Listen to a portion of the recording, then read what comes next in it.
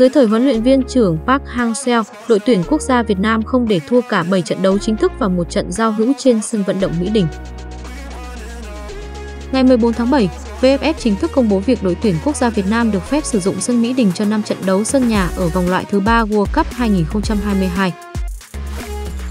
Đây là thông tin không thể vui hơn với thầy trò huấn luyện viên Park Hang-seo. Không chỉ sẽ nhận được sự cổ vũ,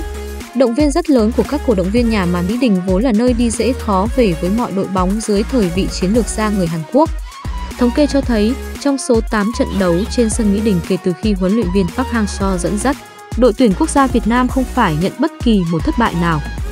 Ở giai đoạn lượt đi của vòng loại thứ hai World Cup 2022, Công Phượng và các đồng đội có 3 trận được thi đấu trên sân vận động quốc gia Mỹ Đình. Dưới sự cổ vũ của cổ động viên nước nhà, đội tuyển quốc gia Việt Nam đã cầm hòa Thái Lan, giành chiến thắng trước Malaysia và đối thủ rất mạnh khác là UAE. Cũng nhờ thành tích tốt ở giai đoạn này là nền tảng giúp thầy trò huấn luyện viên Park Hang-seo làm nên lịch sử giành lấy tấm vé đi tiếp vào vòng loại cuối. Trước đó, ở AFF Cup 2018, đội tuyển quốc gia Việt Nam đã giành tới 4 chiến thắng khi hai lần đánh bại Malaysia cùng với đó Campuchia và Philippines đều là bại tướng của thầy Park và các học trò. Xen giữa hai giải đấu này, đội tuyển quốc gia Việt Nam có trận giao hữu với đội tuyển quốc gia Triều Tiên trên sân vận động Mỹ Đình hôm 25 tháng 12 năm 2018. Trận đấu này cũng kết thúc với tỷ số hòa 1-1.